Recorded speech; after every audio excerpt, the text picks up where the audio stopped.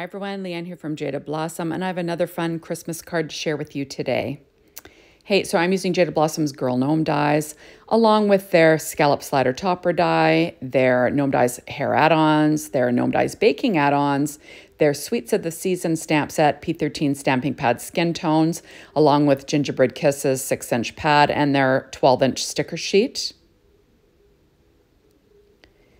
And um, the plaid polka dot in rainbow petite prints. I did put that together on the Gnome Dies hair add-ons assembly video, so check that out.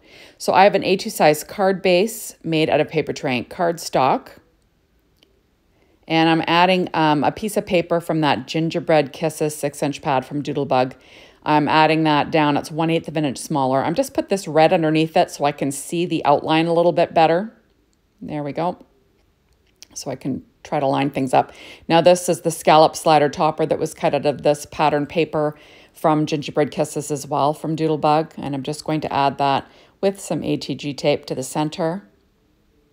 This is great for a topper, but it's also great for a card. There we go.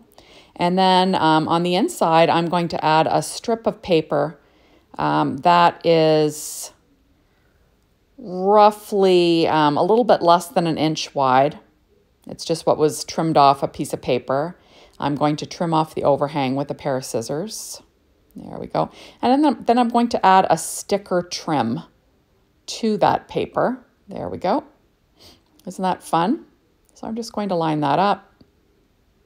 Now that uh, paper train card base was 5.5 inches by 8.5 inches, scored at 4 and a quarter inches to make um, a horizontal fo fold A2 size card or a side fold, I guess.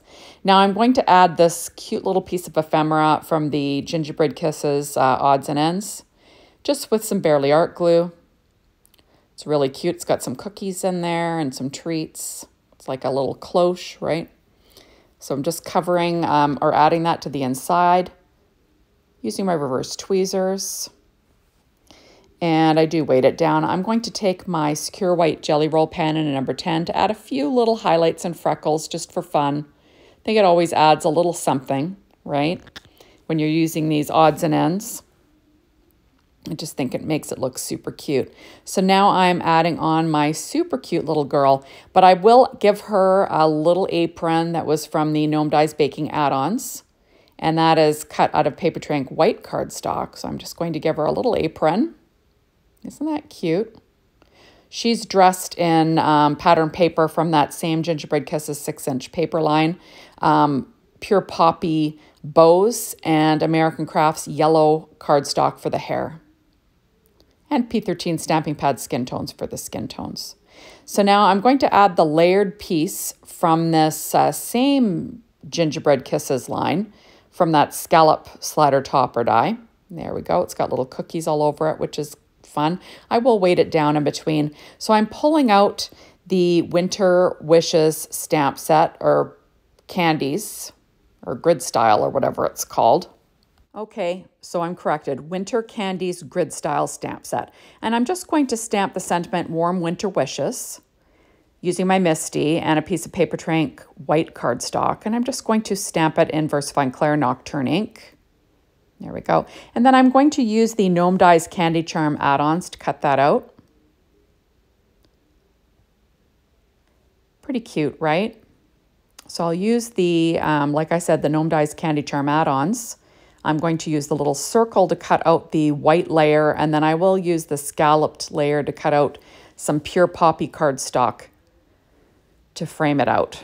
So I will run that through my um, Spellbinders Anna Griffin Mini Empress machine. So there we go. So kind of, it'll be super cute as a sentiment on the front of the card. So now I already have that cookie pre-put pre -put together, um, pre-assembled for one from the Gnome Dies Baking Add-ons assembly video. Check that out. I decided I want to make it match what I've got going on here. So I've grabbed some pattern paper from that uh, Rainbow Petite Prints in um, Candy Stripe and Sprinkles on the sprinkle side. I'm just going to add it in pink. I'm going to pop up the little hands with Stampin' Up! Dimensionals, the miniature ones. There we go. And then I will put this together. So I'm going to add my little gnome girl to the front using some ATG tape and some Bearly Art glue. And I'll just have her lined up in the center. She looks super cute in her little apron, right? There we go. And then I'm going to give her a little cookie to hold. Because how cute is that, right? I'm going to have her holding a little cookie. And I'm going to give that cookie a few little sprinkles. And that is from the Shape Sprinkles. It's called Sprinkling of Love from Doodlebug. Just using my pen blade to pick them up. So I'm going to add a few little sprinkles to that cookie. There we go. Now I'm going to glue down this little sentiment that is cut from that, um, like I said, Paper Ink white cardstock and Pure Poppy cardstock. Layering those up. And I do weight it down in between. Now I have um, three little hearts that's cut from that same um, Gnome Dies baking add-ons. They're actually cookie cookies and icing. I'll be cutting those out of Pure Poppy cardstock as well. So it says, this says, I hope your holidays are the sweetest from that Sweets of the Season stamp set from, from Jaded Blossom. I'm going to stamp that in VersaFine Clair Nocturne ink. There we go.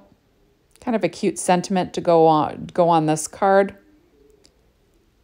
There you go. And now I'm going to pop up this little Warm Winter Wishes stamp set or sentiment on the front of the card with some Stampin' Up! dimensionals again. Working on my Stampin' Up! pad like I always do. And I'm just going to line that up. So that red matches her little red bows.